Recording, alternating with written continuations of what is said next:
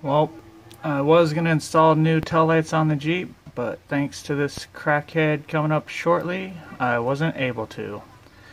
And I'm pretty sure he is one of the crackheads that sleep in the neighbor's car right next door.